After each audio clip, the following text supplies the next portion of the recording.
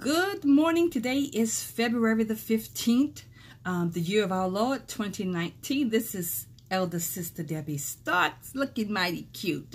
Yes, I am. Um, I am about to read a diary. I was instructed to write a diary. I never written a diary. So I have been instructed to read this diary, to write this diary, and to read it um, today was the last day that I was, um, it came to an end today. And as I read what I have here, you're going to understand more of what I'm speaking about. Um, first of all, I would acknowledge my little robe that I'm wearing. Amen.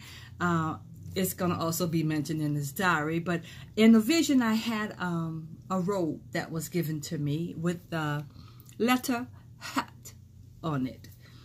And so this was so kindly made by um, Governess Lika, one of the beautiful ladies um, in my uh, classroom. Amen. So let's get started. It's not about all that. Here we go.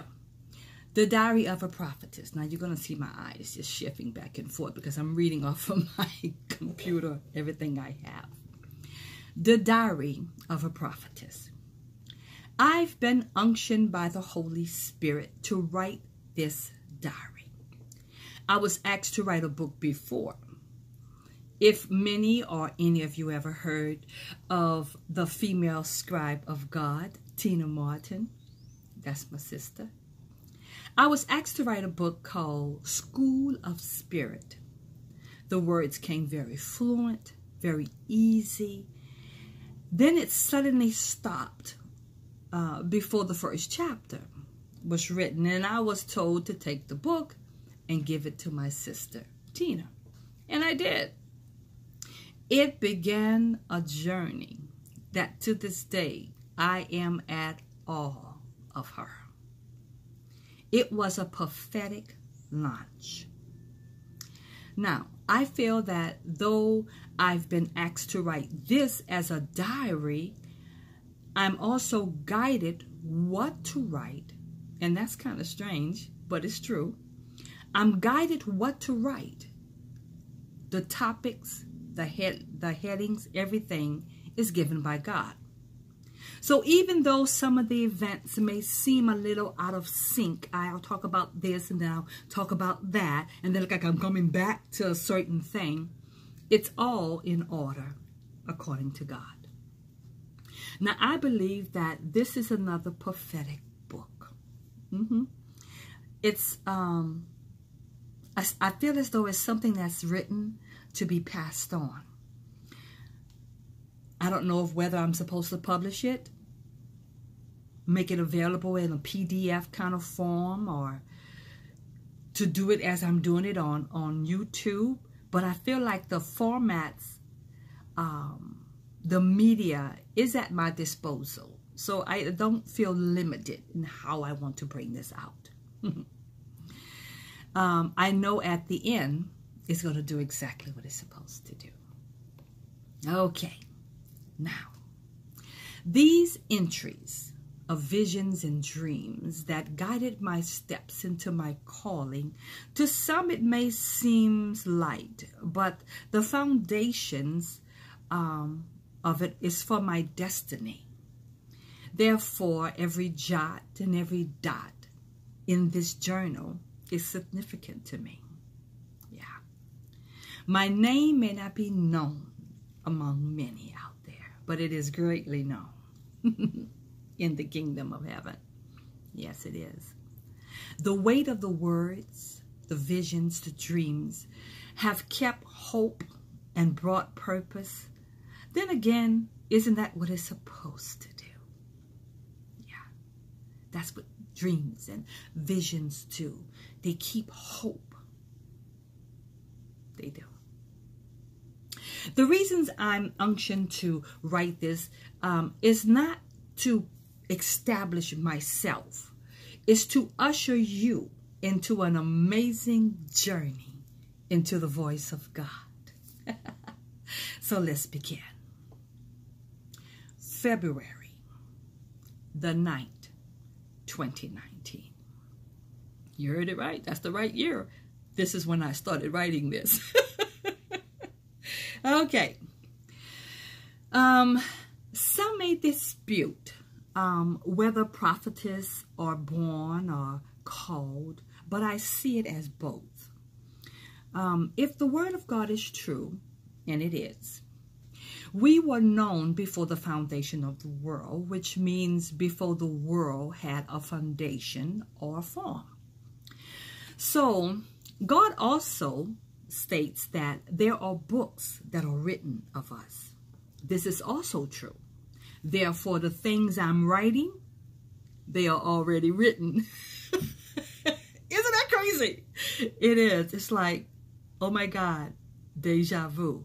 Yes, that which is has already been written. And we tend to cross into that intersection of destiny. yes, we do. Now, how do the call begin? Well, it begins in the thoughts, the purpose, and the will of God. Now, tell me you weren't surprised I said that, right? Okay. That the magnificent God being first uh, begin first contact with us. According to the conversation of Job um, with God he talks to us um, all but we don't perceive that he's talking. How do you how do how do you say that debbie? Why are you saying that? Because job said it this way in job chapter 33 verse 14 it says for god does speak now one way now another though no one perceives it in a dream and a vision of the night when deep sleep falls on people as they slumber in their beds. The quest for knowledge begins, for wisdom, searches for truth, and seeking the deep things. God is always talking. God is always talking. Dreams, visions, through his words, through people. But the Bible says Job wrote it down. He said, men do not perceive as God, whether you're saved or unsaved. Sometimes we just don't perceive as God, but it is. Let's keep going. Yes, I will. It's amazing at that precise moment when we cross destiny with God, a separation has started. We call this sanctification a calling out. Now, this calling, which is of God, I tell you, it's like a moth to a flame. It's almost instinct, but it's divine. It's almost an unspoken vow, yet God is the one that has spoken it. One has no desire to drink, no desire to gain material things. Companionship is traded for a solitary life. There is a separation going on, but it is divine. There is another guiding your heart, your desires, your path. Question is, do the parents see it? Do they recognize the hand of God? Hmm. As the patriarchs of the Bible did. Do they stand over the seed and speak the blessings of a righteous parent? Are the mysteries of the kingdom of God being interpreted as the Father makes first contact?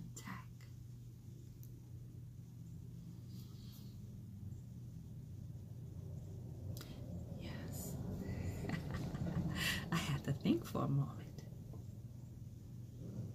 That was February the 9th, 2009.